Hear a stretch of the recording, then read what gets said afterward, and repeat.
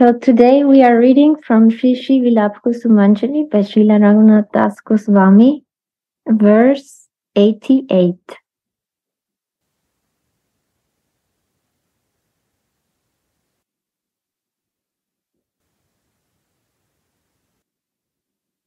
O Manju Vadane,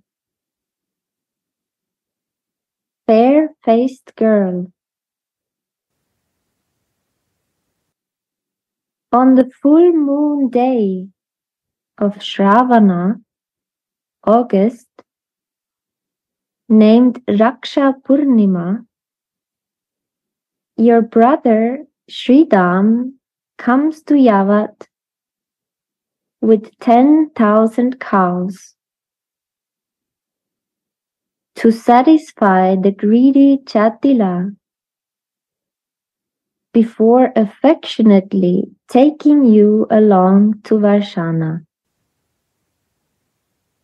where your parents lovingly fondle you in front of me as you melt with weeping from happiness and sorrow.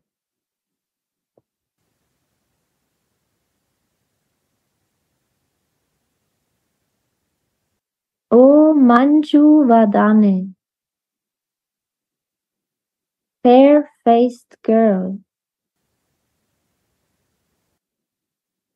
on the full moon day of Shravana, August, named Raksha Purnima, your brother Sridham comes to Yavat with 10,000 cows to satisfy the greedy Jatila before affectionately taking you along to Varshana,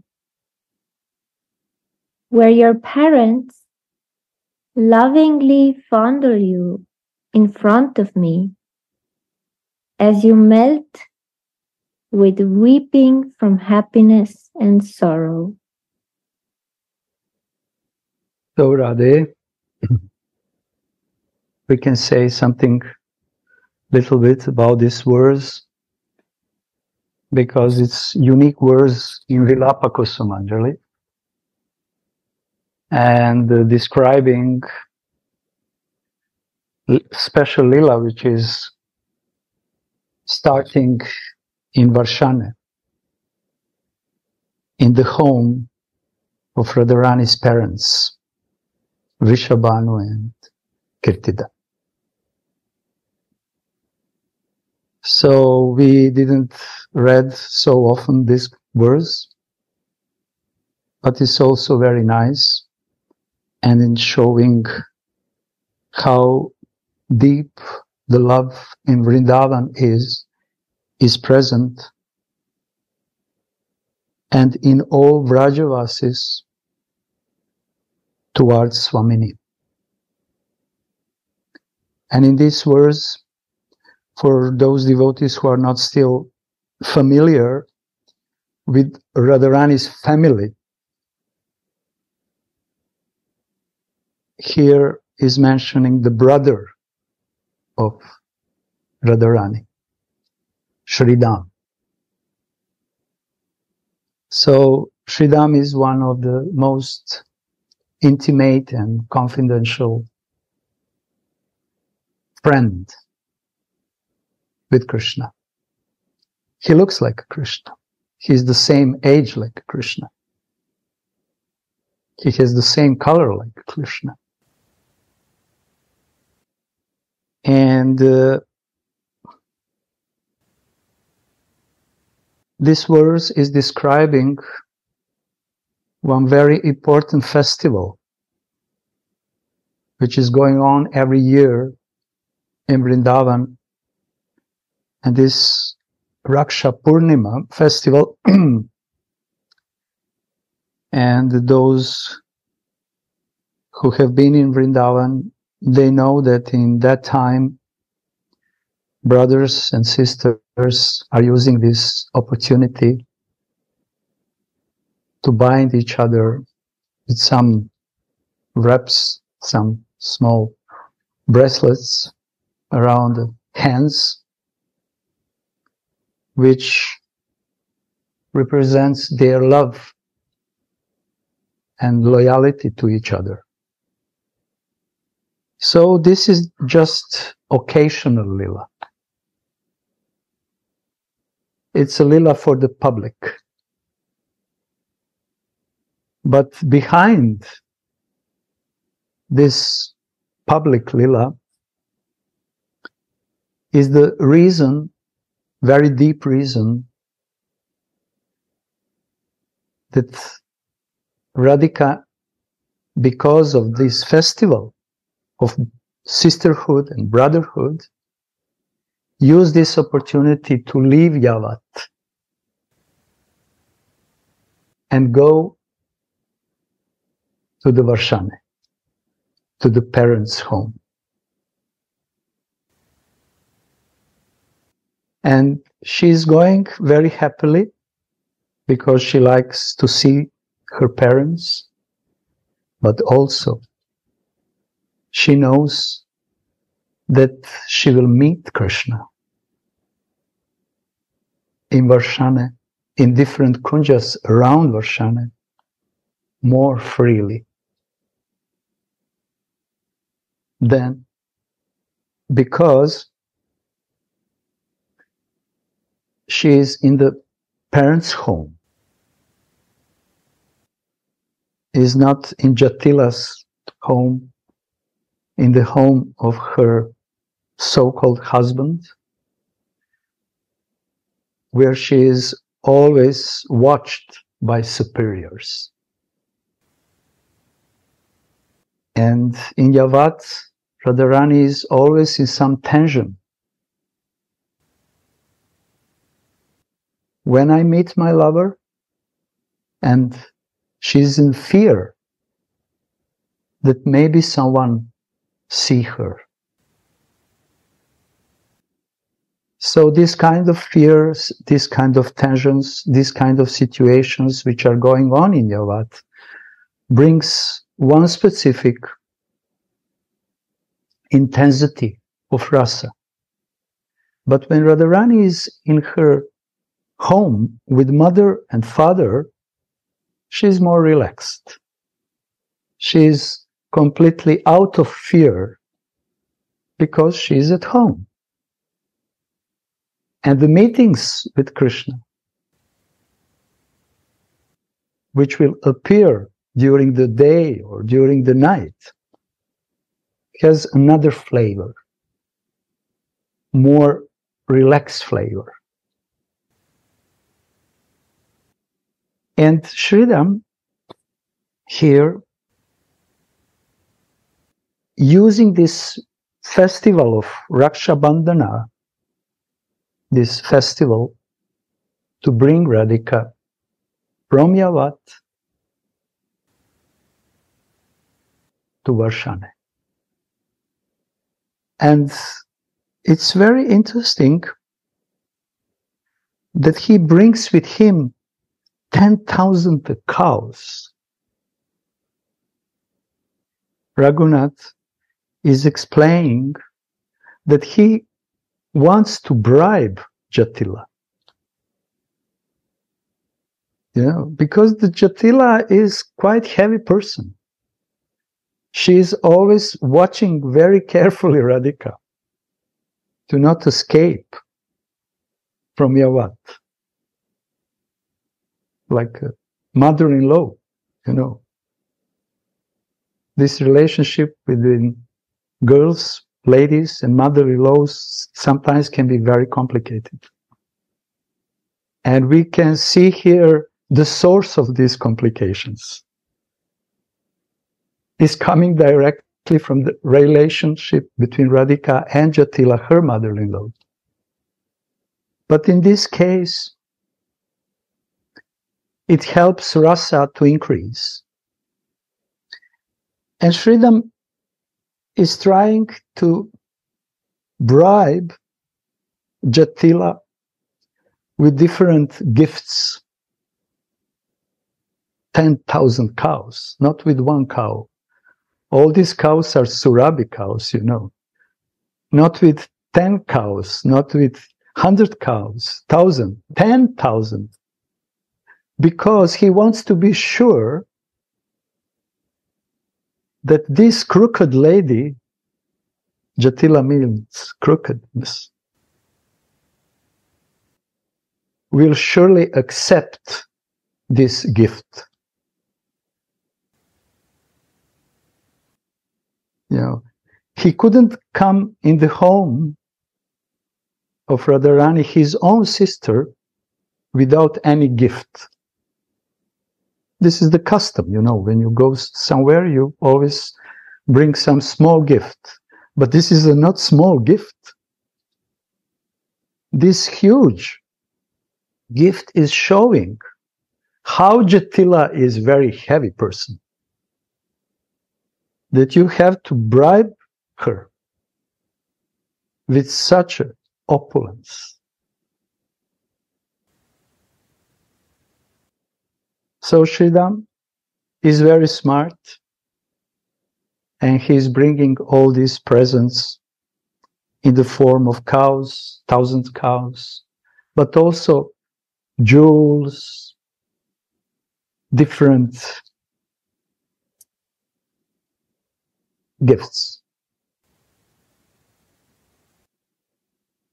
And when Raghunath is meditating on this scene, on this scene which is the, he is describing, he has actually very nice fun because he is witnessing Shrimati Radharani in one very blissful situation. Her face is bright. I'm going back to my parents. I will be free finally. And freely I will meet my beloved. So he's addressing Radharani Manju Vadana, fair faced girl. Gautama, please, your mic. And when he said, fair faced girl, he exactly knows which kind of feelings are present in Radharani that her face is so bright, full of brilliance and light. And each time when Raghunath is addressing Radharani with some specific name, although translation can be the same, we should follow the commentaries of acharyas and we should follow other sentences, descriptions, so that we can feel and understand the deep meanings behind this addressing. For example, many, many times in Vilapa Kusumanjali, in Radharasa Sudhanidhi, it is said that Radhika has a restless eyes. Lolakshi, Ayatakshi, and so on. and So, and but Raghunath and this translation is the same. Restless eye girl. But when we continue to read the other part of the verse, by the kripa, we can feel the differences of this restlessness. Sometimes she's so in, in, in some anxiety to feel, to meet Mohan. Sometimes her restless eyes are the sign of her mana. Sometimes her restless eyes are the sign of the fear. So Raghunath is expert Manjari, expert Radharani's maidservant. And he knows just exactly the mind and the heart of Radharani in that particular moment. And by knowing that, he is addressing her according to her own feelings. So here Radharani is going back to Varshana, to the parental house, home. And he's Raghunath, like Tulsi, is addressing Radharani Manju Vadane, fair-faced girl. You are so happy. But in the same time, some drops of tears are coming down on your cheeks. And because of that, your face, you look so, so nice and sweet.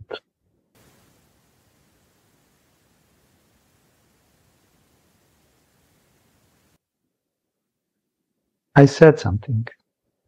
Maybe someone can add more. We are not reading so often this kind of lila, but it brings also light about Parakiya Bhav from a different angle.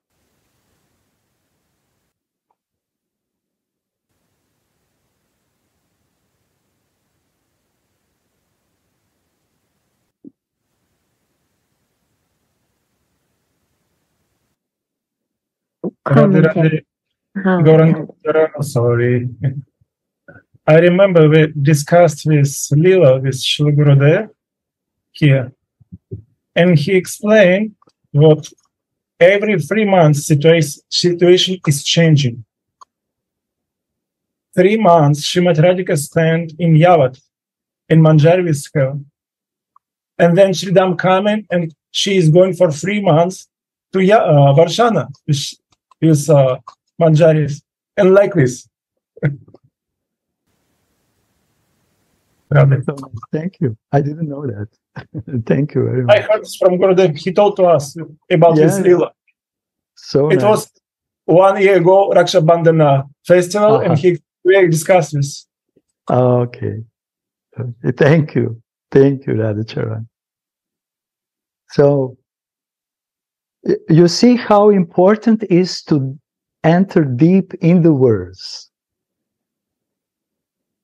And then by the commentaries which are now coming of Anantadas Babaji and other acharyas and explanations of our Guru Gurudev. So we can prepare our consciousness, purify our consciousness for the bhajan during our listening.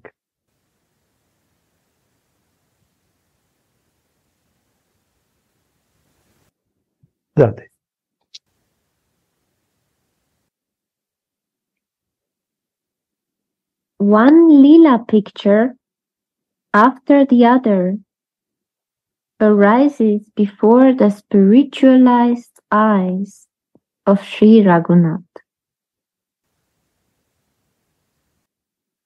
And when his relishable visions vanish, he laments and manifests another prayer. His mind is immersed in the ocean of the sweetness and beauty of the divine pair. And there, the treasure of eloquence has very little value.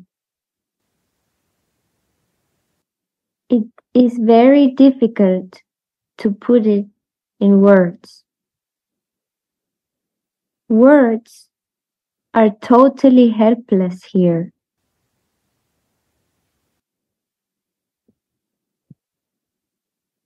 Still, the stream of bhav naturally wants to come out over the path of words. But alas, words are not able to hold such a powerful stream. Words become stunned here, strangled and suffocating in the grip of bhav. In this situation, bhav blooms up in the heart of anyone who depends on it and comes to a sensitive devotee in only a slight way in the form of words.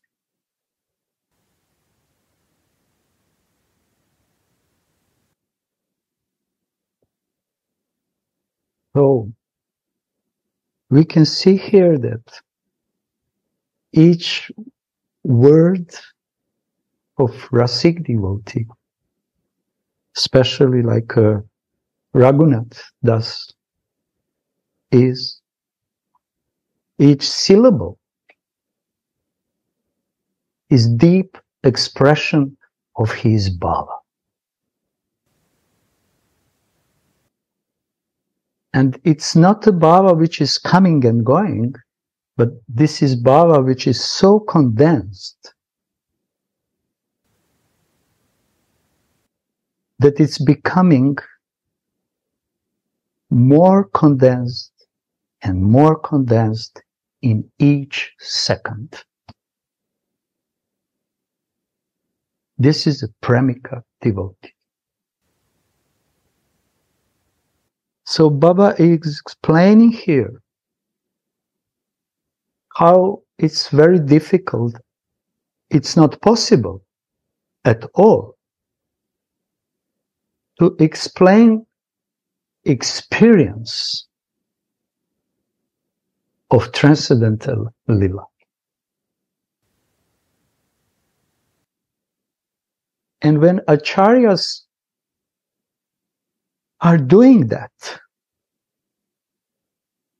they are doing only because Radhika is al- allowing them.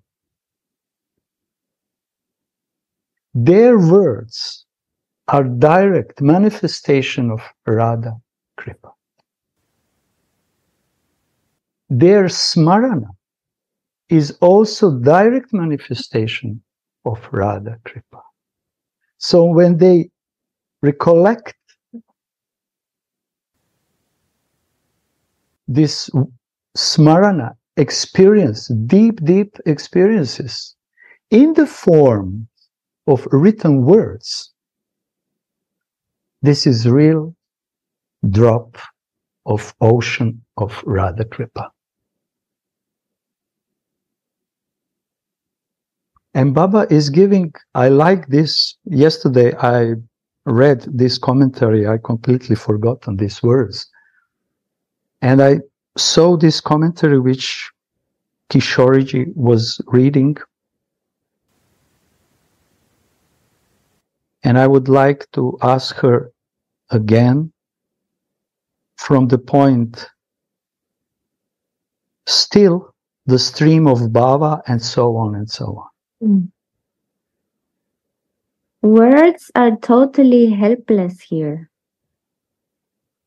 Still, the stream of bhava naturally wants to come out over the path of words. But alas, words are not able to hold such a powerful stream. Yes. So Radhe. the bhava, yes, please, Udalaji. No, no, please finish your reflection, my dear. No, no, no, no, no. Jai Shri Radhe, Jai Gurudev. I'm so happy that you mentioned Parakiya Bhav.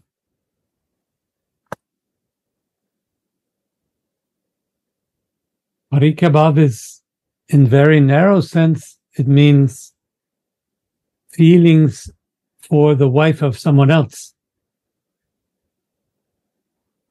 And sometimes we speak of this and wonder whether the gopis are married and whether Radha is married. And whether Krishna is then having a relation with the wife of someone else. But this is only a narrow meaning, and we need to keep our hearts open to a much more important meaning, which is Parikya Bhav is feelings that break the rules. Feelings that are so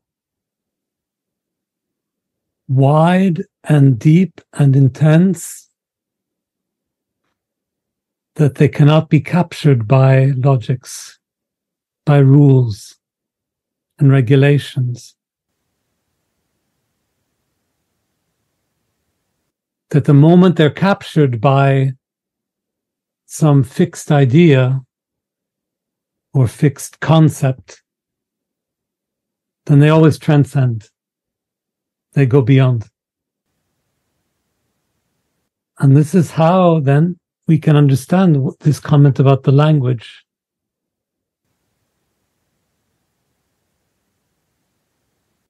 Because in the end, language is a set of rules. You have grammar, you have the lexicon. If you don't follow the rules, then you can't be understood.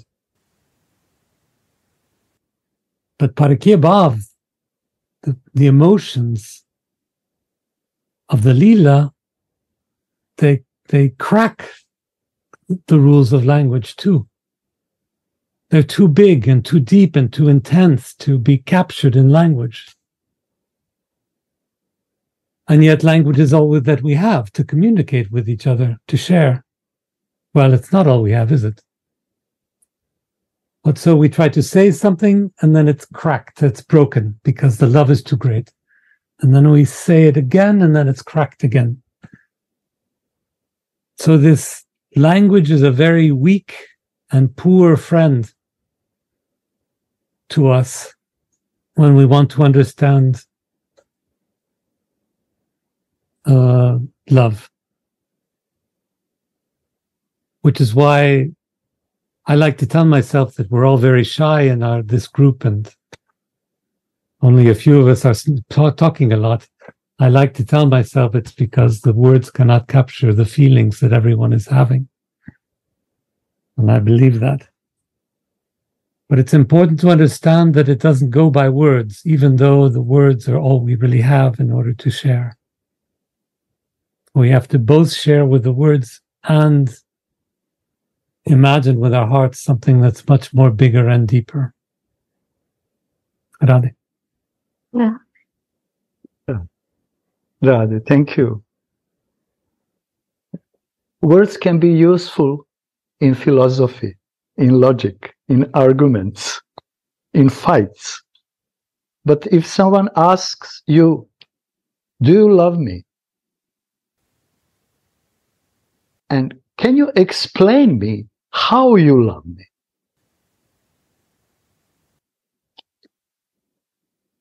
You are speechless. I very, I love you very much because you are so nice, so beautiful. I like you, but it's so funny explanation actually. But if you ask me about universe, then I will start to elaborate with so many words and words and philosophical points.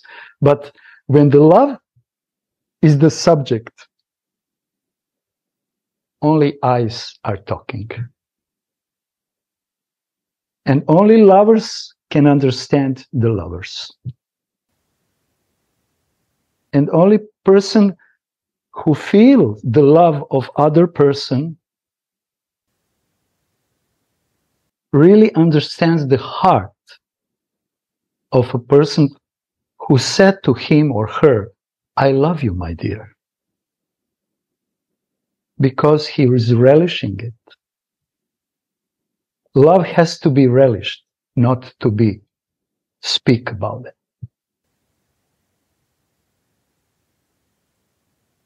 So Baba is saying here, words are not able to hold a powerful stream of bhava. But again, we are reading here the words and we are listening the words and we are depending on the words. But which kind of words? Words which are glorifying Parakya Bhav, Yugala Kishore, purest love which is exists. And these kind of words, even if they are not properly put it in the proper grammatical sentences, are so sweet and relishable. So for that reason, person doesn't have to be so knowledgeable. Because the words of acharyas who are speaking about rasa are actually the words of their hearts.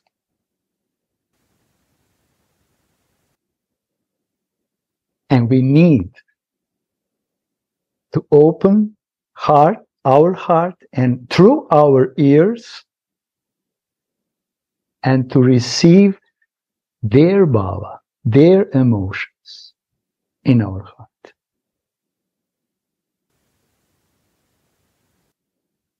And yesterday in Japanese Zoom, we were reading about Gurudev's Temple of Love, yeah. And it said one mellow,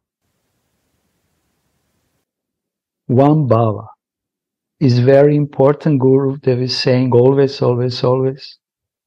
Because when we are situated in one mellow, then we can really, really relish the words of Rasik devotee. Because they are not just the words, they are vibration of their hearts.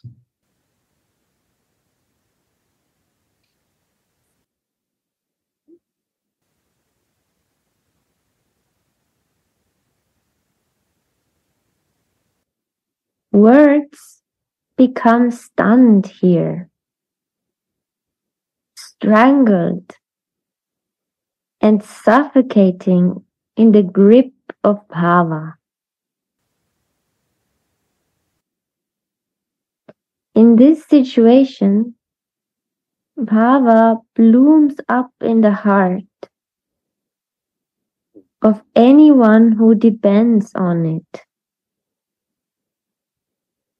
and comes to a sensitive devotee in only a slight way in the form of words.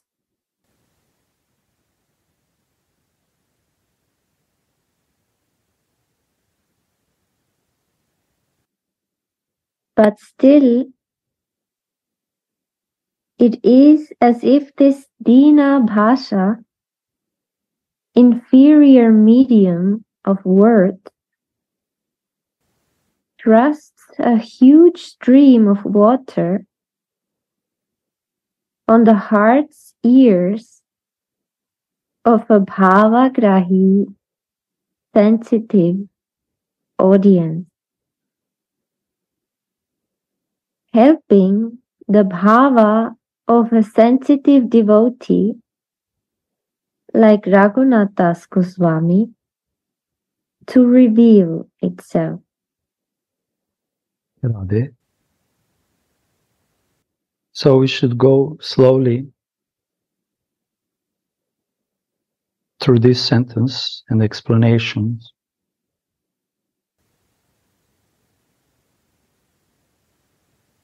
Kishoriji, from but still, Mm. this this big sentence. Mm. Mm. But still, it is as if this Dina Bhasa, which means inferior medium of words, thrusts a huge stream of water on the heart's ears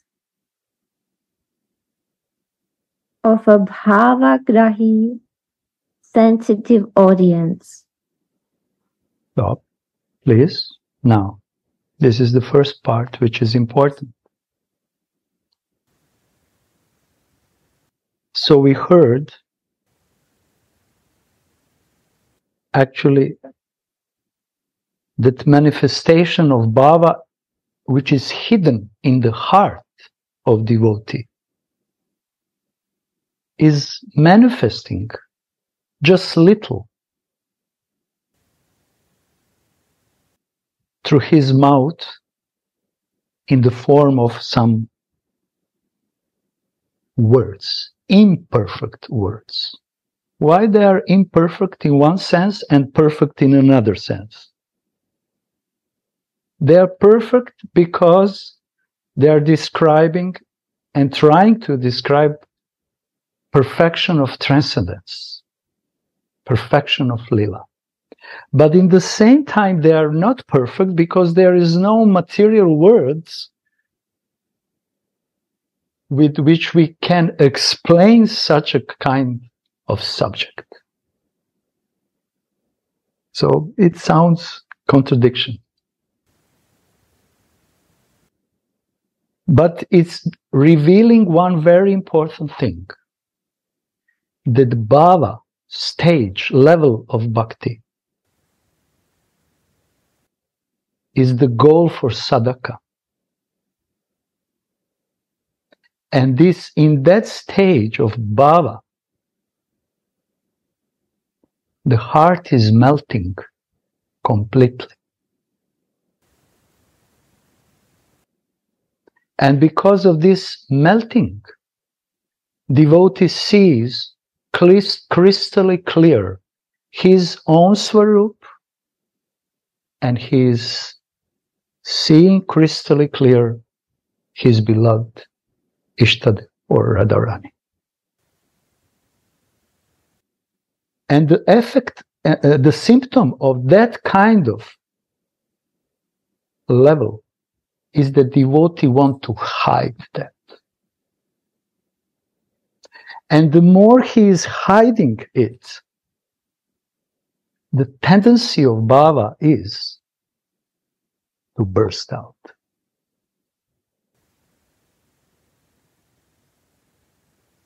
It's like a, these pots, pressing pots, you know. When you put something to cook and then press with this, how you call it, licked? A pressure. Uh, pressure cooker, yeah, pressure mhm, cooker. pressure cooker. And the more you cook, the more you cook, the pressure in the pot is stronger, more intense, more intense, more intense. In one moment, it can burst out.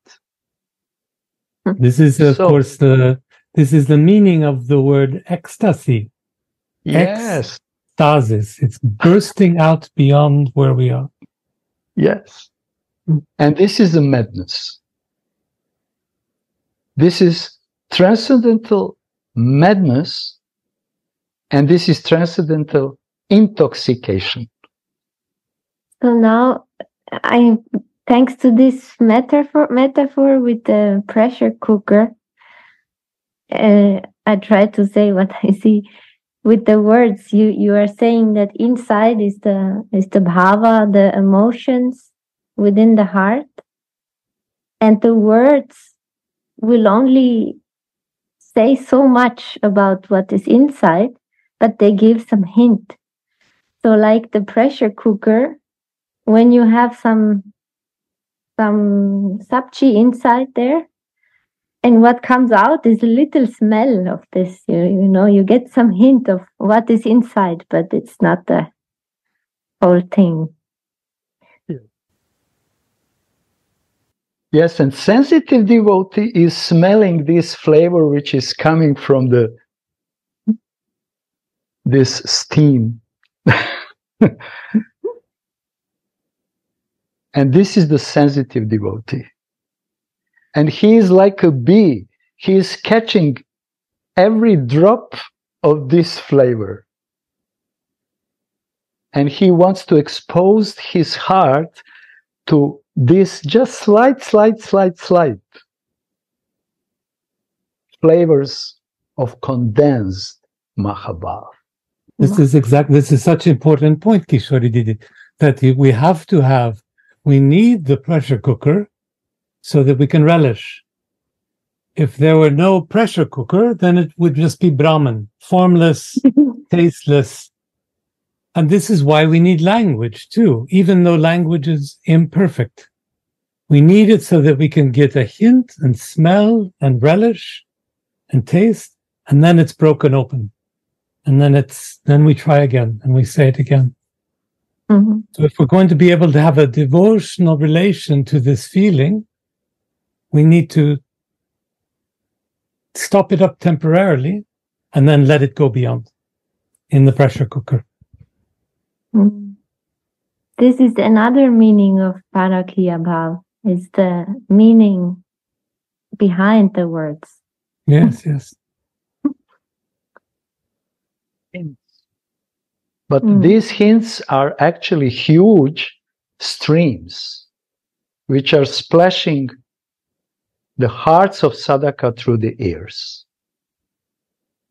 And Baba is saying now, through the ears, heart's ears of sensitive audience. We heard so many times sensitive individuals. But Baba is saying here, sensitive audience. What sensitive audience is doing?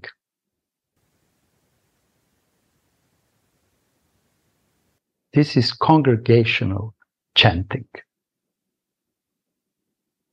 of Mhm. sensitive devotees in the same mellow, in the same mood. When these devotees, this Sangha, with full condensed emotions in their respectful hearts, relish this, then each individual in this Sangha, in this group, is growing and growing and blooming and blooming. This is Sankirtana. And this is why it's so important to have a proper, nice Sangha in the same mood. And when we say the same mood, it's not just theoretically. I want to be Manjari. It's not enough. It's not the same mood. Same mood when we feel certain specific subject or detail in that subject. And our hearts are trembling then. And when 10 hearts are trembling, then each individual heart is blooming like a flower more and more and more. And if it's done with the guidance of pure Rasik devotees, then this kind of fortune and relishment, it's not possible to describe. there is no words for such kind of great mercy, opportunity, and fortune. Only soul inside the person can feel it and vibrate it. Thank goodness. If there were words, then we would just go and buy it in the bookshop and never meet each other. Yes. And this is why you are right, Uddhavaji. It's not possible only through books to relish this. this is the mystery. And for us, or for me, who, who has a lot of impersonal background, you know, it's quite a big, huge step which I have to make, you know, because it's very easy to dive in the books, but to dive in the words of acharyas, to, through my brothers and sisters, through the words of Rasik devotees, Gurudev, it's completely another another dimension.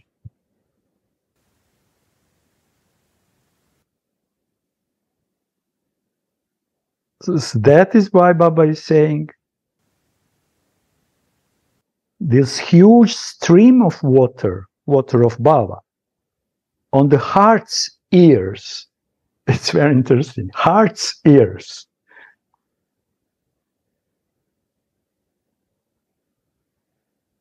We can listen with the mind or we can listen with the heart. Mm. This is two kinds of listening. And Baba is saying clearly which kind of listening is most important.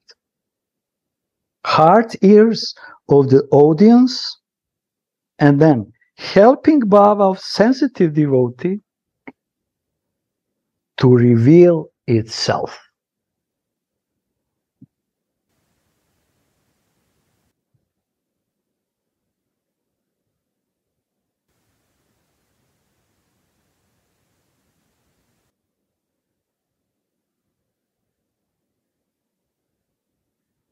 Hmm. Perfect. Please continue. Yes. The power of the speaker's bhava is infused in his words. Therefore, their result, prowess, influence, and authority are endless and inexhaustible.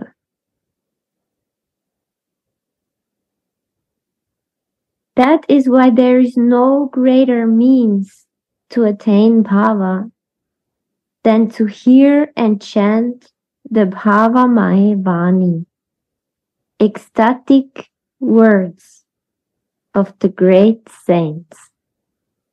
There is no other way.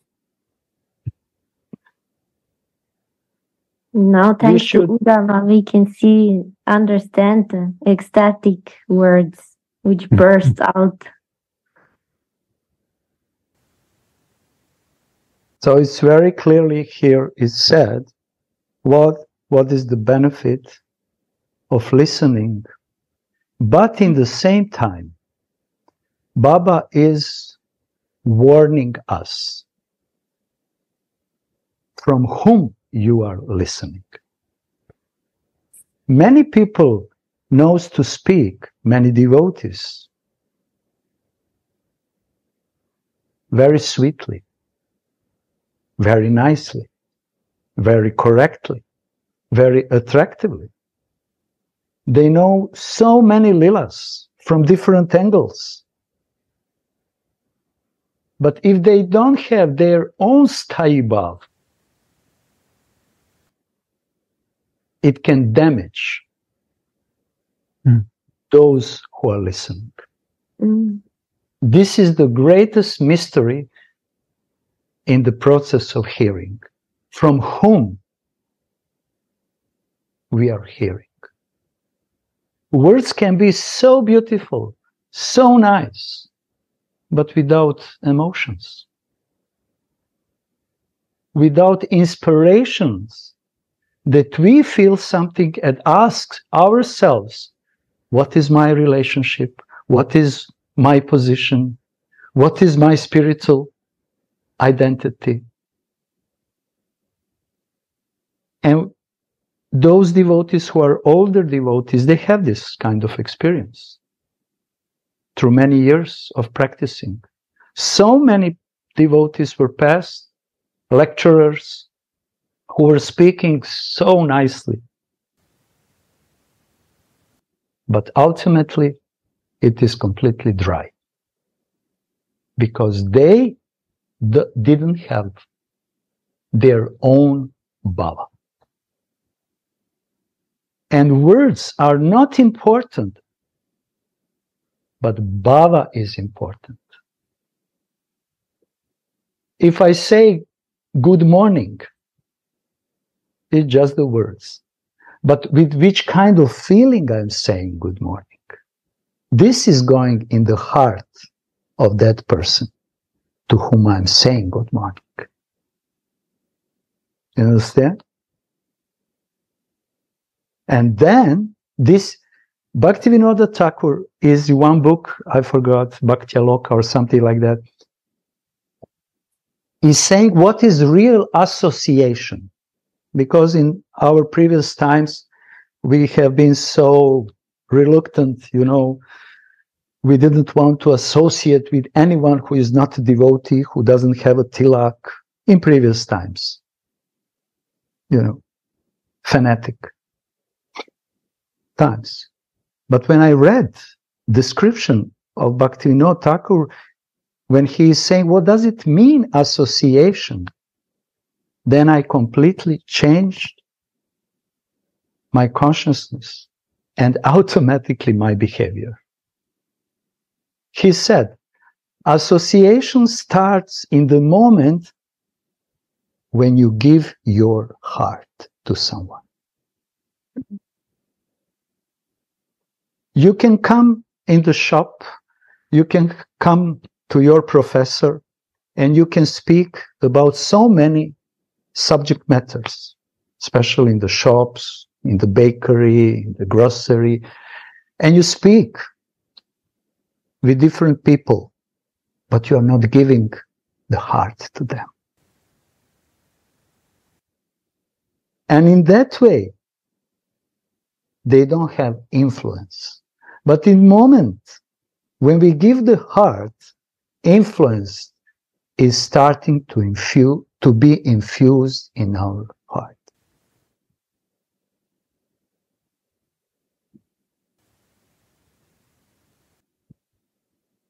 So we should be careful to whom we are giving our hearts and in which way because the speaker, Baba is saying here, the power of speaker's bhava is infused in his words. And this is the reason why Guru Dev and our acharyas are so many times are speaking, define your goal, and then expose your heart, your ears to those who are speaking from that bhava. This is the great secret of sadhana bhakti. If we want really to advance in our desirable bhava, we should associate with those in the same mood.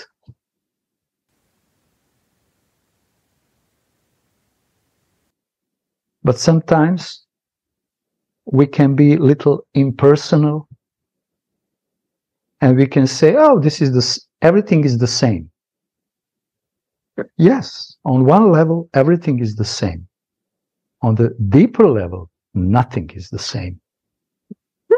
Everything is full of rasa and personal. If I say all women are so beautiful and nice. Yes, this is the truth. Depends from from the which angle you are looking for. But my wife, we will not agree with that. You understand the point? He will he will ask more explanations.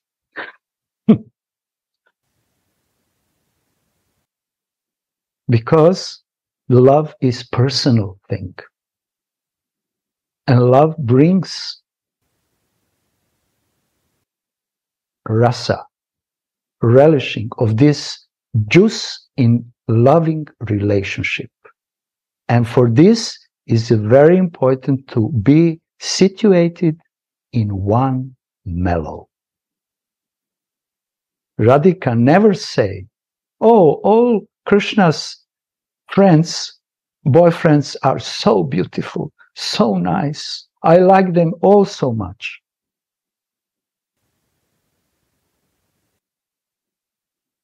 Her heart is always just one pointed directed to her beloved.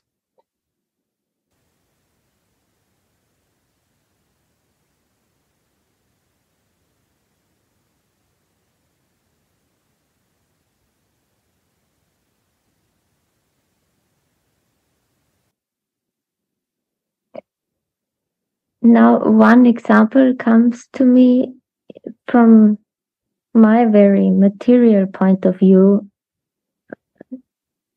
that, for example, when I read these words that are written here, e- even if I am alone and I read it out loud, it's different when I read this and try to understand or when I read this to senior devotees or to Gurudev, then their words will be infused with so much power that it makes me to understand the meaning behind these words also.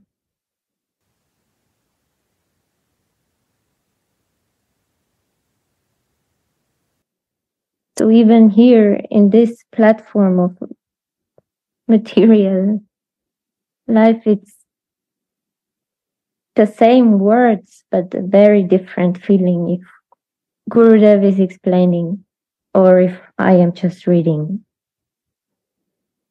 if i know i don't know if it's if you can understand what i mean but Yes, thank you very much for this sharing because, like you said, when you are reading now in front of all of us, your words to yourself are sounding differently. When you are sitting at your home and you are reading to yourself or to Kanai, yeah.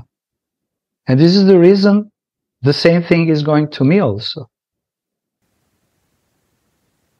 With my speaking, Uddhavaji knows that, mm, who is here, I cannot see all devotees. But this is the point why Gurudev is pointing out that we have to share. It doesn't have to be so smart. We don't need smart people.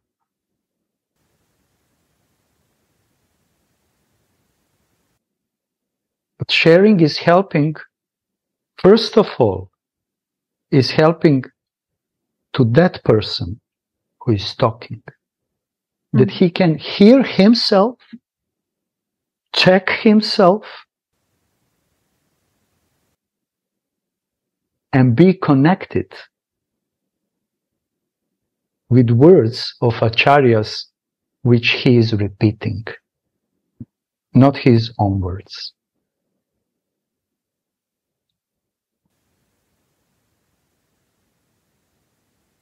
Jai Radhe. Oh, Gorachandra, Radhe Radhe Gorachandra ji. So nice. It's so cold. It's so cold in your room. yes, Wow. getting cold. But it's a new blanket. It's a new jacket, so I enjoy. Ah, okay. So Kishori say reading alone is not the same when we are reading to others or sharing. But sometimes we are reading alone. And for that it's important not just to open the book and read. We have to invoke the mercy of Gurudev and the Acharyas by reading Mangalacharan, by praying to Gurudev, Pancha Tattva Mantra, Vancha Kalpatarubhyascha. So we are never alone. The mercy is always with us, but we have to invoke that. We have to pray before reading the book. Then it can also happen that we relish more even by reading alone. mm, there is always association, visible, invisible. But we have to invoke that. You see, every book in the always there's Mangal Acharan before. Praying to each and everyone before something happens. Mm. Some two weeks ago we had Q and A with the Japanese devotees, and now I know little the nature character, no? little shy. Don't want to ask question. Don't want to show that maybe I don't know something. but that is not the subject we listen so beautifully that actually it's not about the words. It's about to invite, or let's say, it's about to make the sadhu speak something. Just make him open his mouth and something should come out it doesn't matter what he is talking. But his words are soaked and full of bhav. You see, Gurudev, he doing a lot of small talk. Huh? When you come in the room, how are you? How is your family? This and that. But it still is exchange of feelings.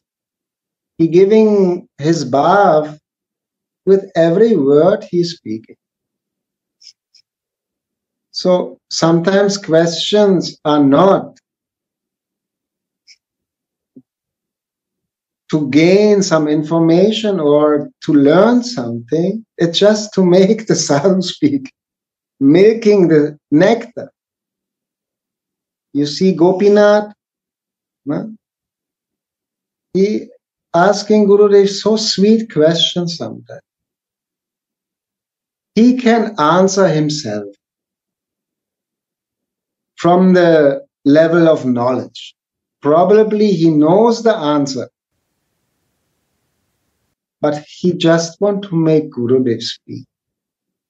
That the bath is coming. Mm-hmm. And this whole process of Shravan, no, this is the main thing listening, listening, listening. The bath coming through the ears. Mahaprabhu in front of Jagannath, he's singing a local pop song. It's not about philosophy, but bhav, feelings. Baba writing in one of his commentaries that sensitive devotees, when they are at Radhakund, sometimes they can listen how Raghunath Das Goswami is weeping in the night at Radhakund. This weeping is not even words. It's just some sound, some vibration, some bhav.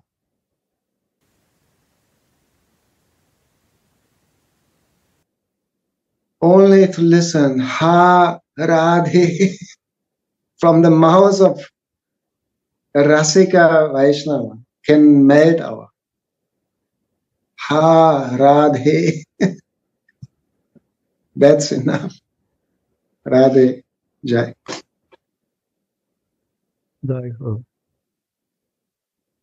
Thank you. And I really want to encourage all devotees for the questions. like Gaurachandra said, I was also very, very shy, especially in the beginning, for asking the questions and I read from Vishwanath Chakravarti Thakur one beautiful encouragement. Like he said, someone who is asking questions, he has a great benefit for doing that. Mm. Those who are listening the answer, they have even more benefit. And those who are answering, they have the most benefit. Because they have to be directly connected. The old Guru Parampara lineage and they have opportunity to realize that through their mouths all other acharyas are talking. So everyone has a benefit and like Gaurachandra said if you just scratch the sadhu, it doesn't matter what he, is answering. But we should be prepared to listen his bhav. And sometimes we are confused. Oh, I ask Gurudev something and he's answering me something else completely. Isn't it? no, I'm very disappointed. He didn't answer my question. It was the question of your heart and his heart, and answer for your heart from his heart.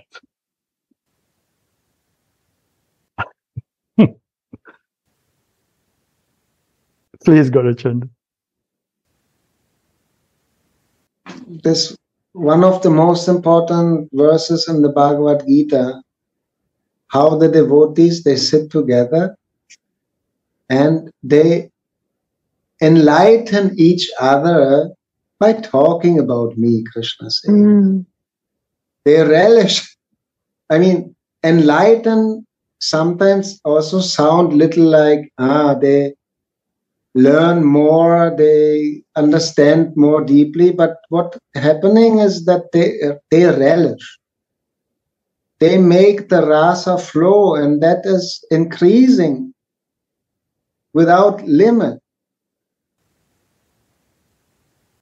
from heart to heart to heart is a flow of emotions that growing and they relish. So this katha is so nourishing and so ecstatic.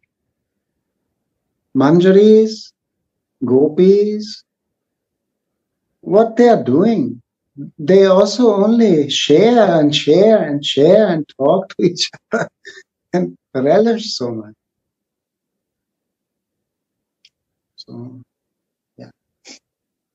Because they are bhavagrahi, sensitive audience. In that is important.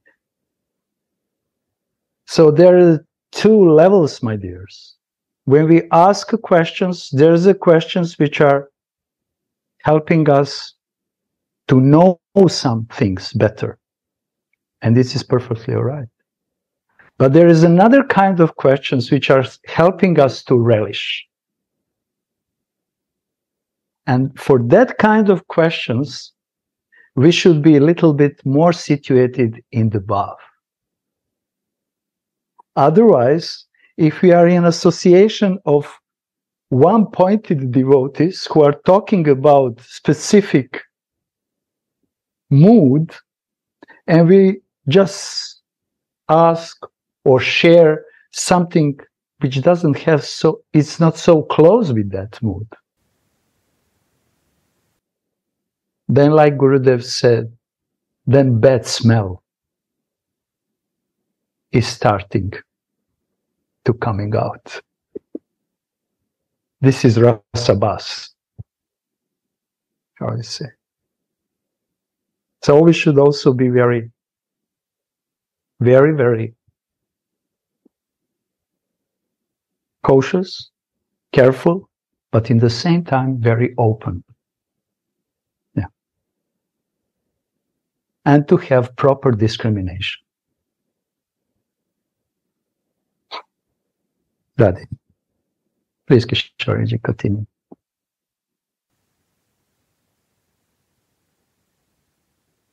In the previous verse, Sri Raghunath relished the sweetness of Radharani's coronation. And in this verse, he relishes the parental love of Mother Kirtida and Father Rishabhanu. The personifications of parental love as Swamini goes to her parental home.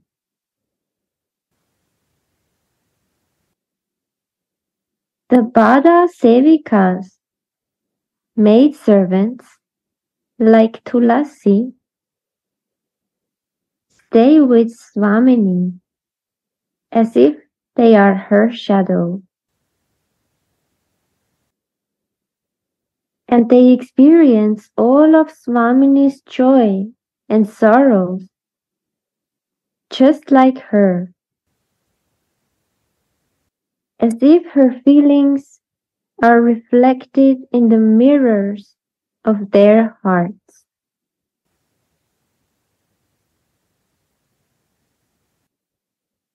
The great poet Karnapura, who sucked the nectar out of Sri Chaitanya Mahaprabhu's toe, describes this as follows in his book Alankar Kaustubha. Sri Krishna says, oh, O fawn-eyed girls, as long as you did not meet your girlfriends, you can see in the mirror whether you are happy or sad.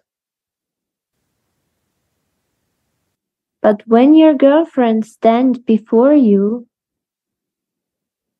then what is the use of mirrors for you? They are just like mirrors themselves. When tears are falling from your eyes, they also fall from their eyes. When you have goose pimples on your body, they also have them. When you laugh, they also laugh. And when you are morose, they are also sad. This situation is visible to the utmost in Radha's maidservants. So this is a clear position of Radharani's maidservants. Whatever Radhika is feeling, same intensity her manjaris are feeling.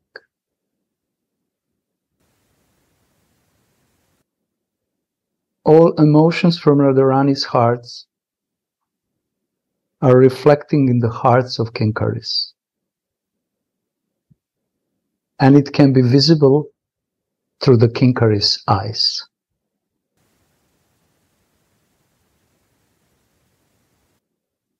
And not only that, when Radhika sends Kinkaris to Krishna, to Nandagram, to bring him some sweets, she is infusing her emotions in the heart of Kinkaris, and like messengers, they are bringing Radharani's emotions together with the sweets and are giving Krishna. And only by looking them, Krishna knows how Radharani is feeling in that moment. He's relishing. And then Manjaris are looking him. And then again, when they come back to Yavat, they are bringing Krishna's emotions to Radharani like a most precious gift. And they stand in front of her, and Radhika is staring and staring and staring in their eyes. And she feels her beloved. So this is the beauty of this transcendental loving relationship when the feelings are reflecting in the mirrors of the hearts. Same thing is going to Sadhaka. He wants to expose his heart to the heart of Rasik devotee. And he wants that from his or her Guru Manjari, all emotions reflect on his or her heart.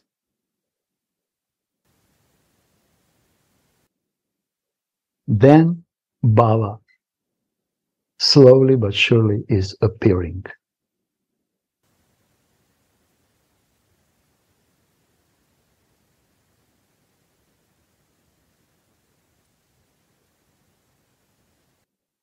And Baba is saying here, this situation is visible to the utmost in Radha's maidservants. Radha Palya Dasis those who took complete shelter of beloved Shrimati Radharani.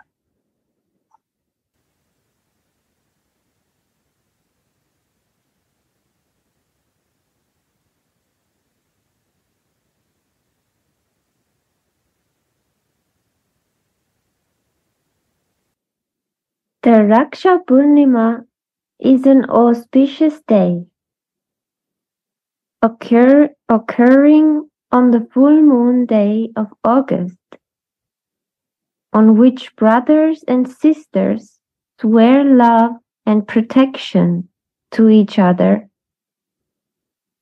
by binding protecting armlets around each other's wrists.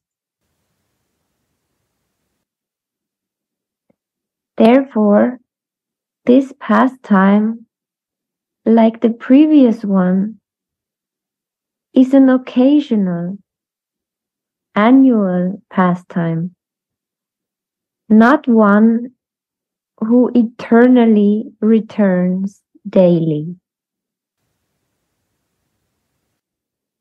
Nevertheless, because of its transcendental nature, the pastime can be meditated on at any time.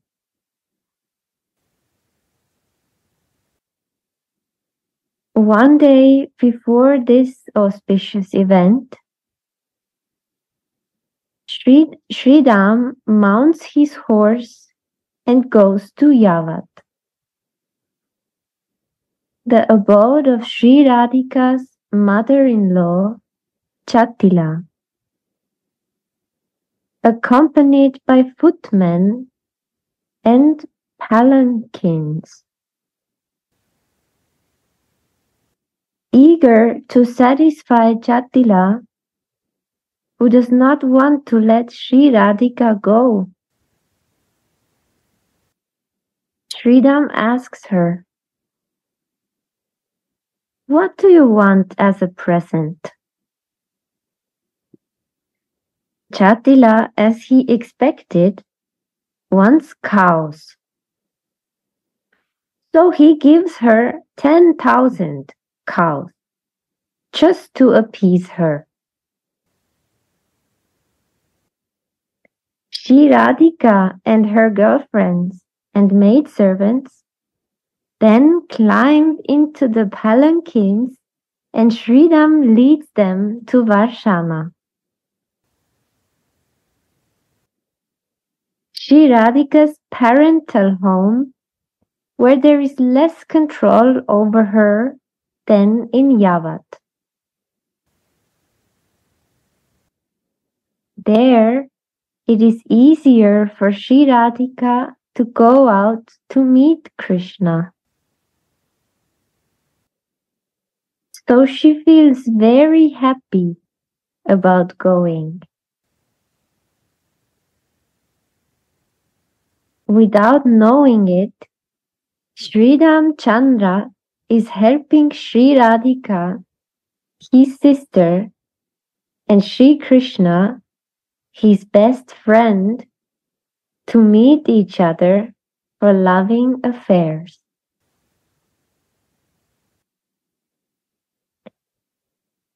Everyone in Vrindavan, knowingly or unknowingly, assists Radhika and Mohan in their relish of Shringara.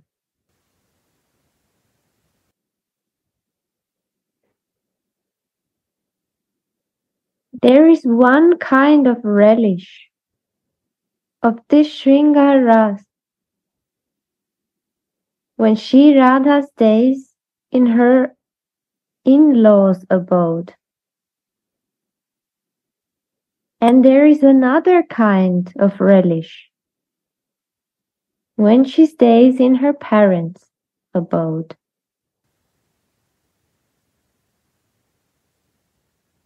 The Kinkaris come along with Sri Radhika wherever she goes, be it in Yavat or in Varshane, and are thus blessed with these different kinds of savor. That's why the service of Sri Radha is called the most extraordinary goal of life.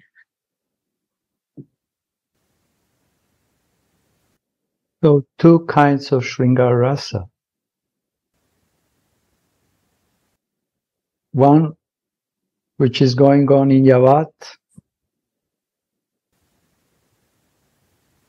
and one which is going on in Varshane.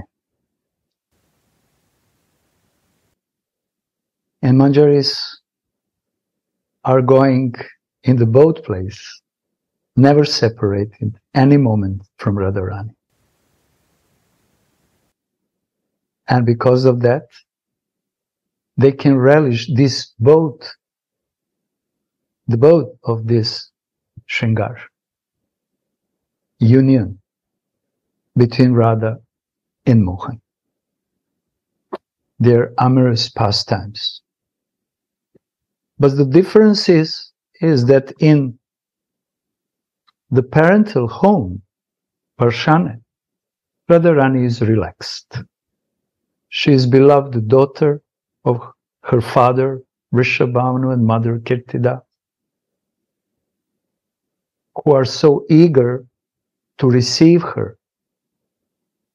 And like a parents, you know, they're with loving child, they say, you can do whatever you like. Uh, just be happy. But it's not the case in Yavat with mother-in-law, which is so crooked person actually. This mother-of-law is so crooked person. Of course, to increase rasa, this is tattva, this is okay. But she's in the nature, she is a crooked person because she wants 10,000 cows. And how this crookedness is a transcendence, yes. But we can see here that even in Nara Lila of Radha Krishna, pastimes, you have to bribe the crooked person.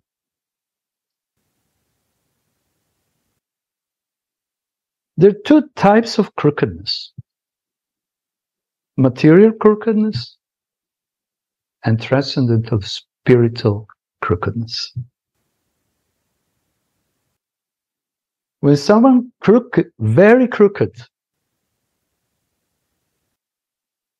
in material life, you have very intelligently to bribe him. Very intelligently, you have to always praise him. I will give you this. You are so this and that. I will give you this position, that position. No, I'm not satisfied. I want highest position. Okay, I will give you highest position. Gurudev is doing same thing with us. You know, but the crookedness in lila, transcendental world, is helping to nourish the beauty of Parakiya Bhav. And this crooked lady, which makes so much obstacles to Radharani, you know, must be bright. And this is the cleverness. Here we see cleverness of Sridham, who is the brother of Radharani, but Manjaris are even more and more and more clever than he is. How to this crooked person how to cheat? Because crooked person you have to cheat. You have to become better cheater than he is and gurudev is also using this technique on his shishyas in very sweet loving way because he knows I have a job, business with crooked people. I have to change them somehow. But this crookedness, we, why I'm talking about this, because this is a quality. But is there material quality? This is, then this is really, really bad and ugly, destroying.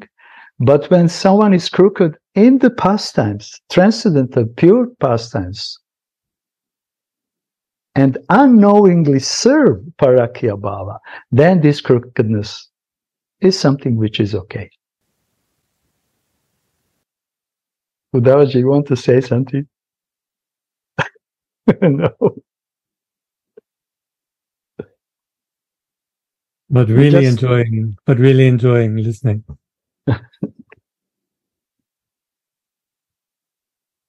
Everything what is bad in material world is the highest in spiritual world. Kama is a very sinful activity in material world. But the same kama which is endowed with prema is the highest feeling and quality. Because the goal of the prema is to give the pleasure to be loved. Nothing, nothing for myself. Even the fear is a nectar. Even the jealous is the nectar. Even the anger is a nectar. In material world, all these qualities and behaviors are making destruction to the person and to the others. But when they are touched with pure love, they are becoming worshipful qualities.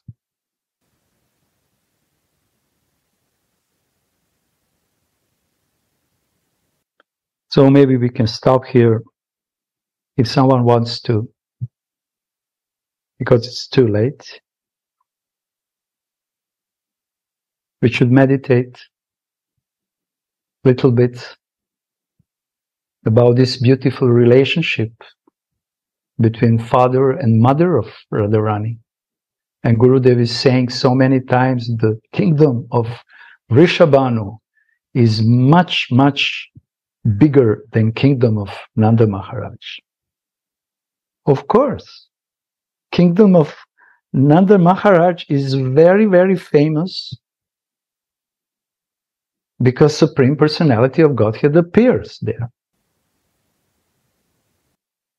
But the kingdom where the embodiment of Prema appears, the kingdom of Rishabhanu, is undescribable, brilliant, and opulent. Because only love can make someone really rich.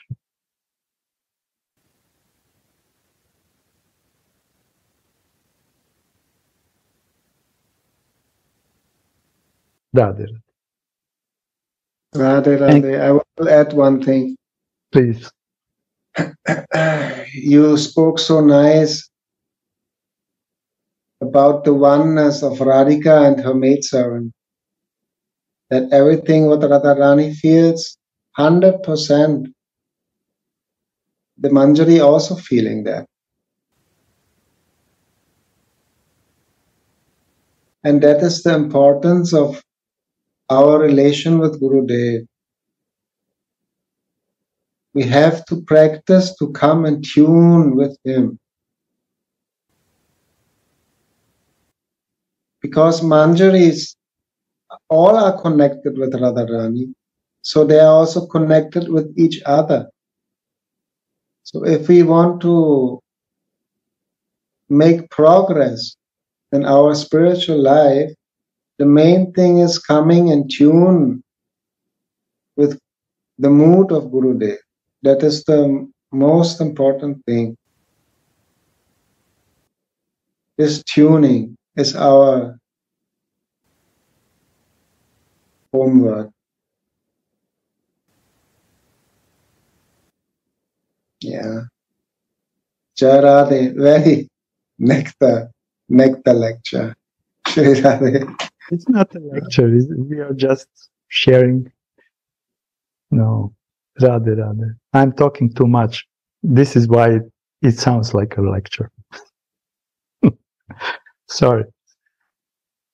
Radhe, Radhe, devotees. Also, words of Ananta Das Babaji, they are so precious. That is so amazing what he is writing. Yeah. How he is writing that. That is just unbelievable. So much mercy. My God. Yeah. Really. It's really. And when we now, when this Zoom stops, and if you make one experiment, please try to do it. I will tell you what. Read again what we already read now. And you will see how understanding, relishing is deeper and deeper and blooming even more after this beautiful association. I'm practicing this. This is my secret. It's not example, but suggestion. Radhe Radhe.